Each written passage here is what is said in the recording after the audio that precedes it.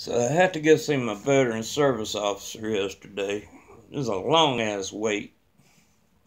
Was there for three hours.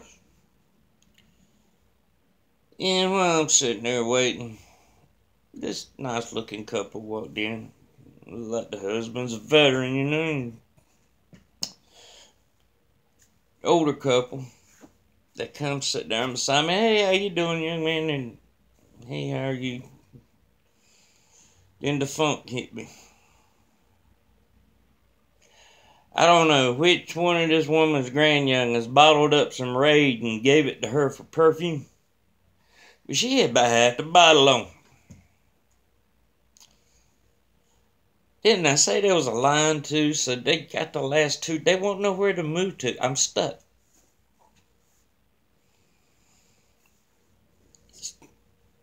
So it just made me remember to put out a public service announcement since Mother's Day's coming up.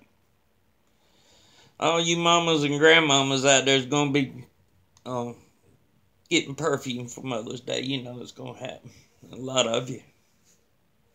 And some of you grandmamas that's got 10, 15 damn grandyoungins apiece might wind up with three or four bottles.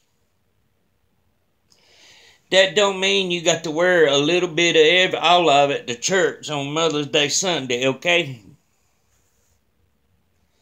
Because when you start to gather all these little grandmas and these mamas with all this perfume on in one darn room, I don't care how big that sanctuary is, I don't care how good that air conditioner is, your eyes are going water. My God. Last year. and Take Visine with me to church. Should have took a respirator. One of my relatives was one of the culprits. Where in the world she got that mess from? Good God. It's supposed to be perfume. I don't know. Could be French. I don't know. They got they like strange smells anyway. You ain't never going back to Paris. If,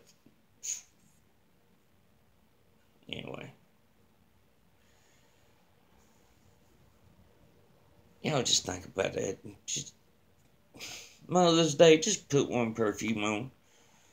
I don't care if you do piss your grand youngins off. Just think about other people for once.